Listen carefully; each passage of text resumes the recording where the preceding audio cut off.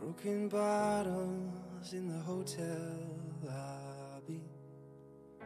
Seems to me like I'm just scared of never feeling it again.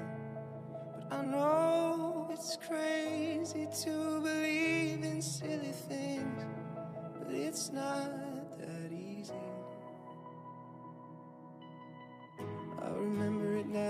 Takes me back to when it all first started. But I've only got myself to blame for it, and I accept it now. It's time to let it go, go out and start again. But it's not that easy.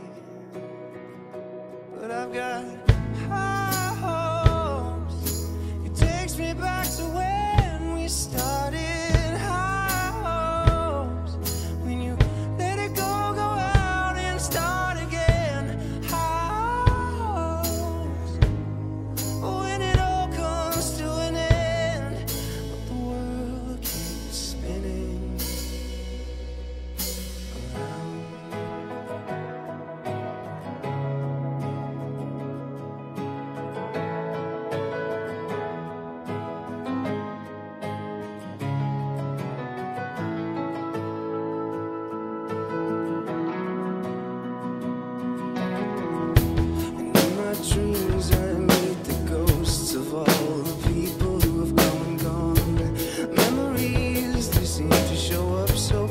with this.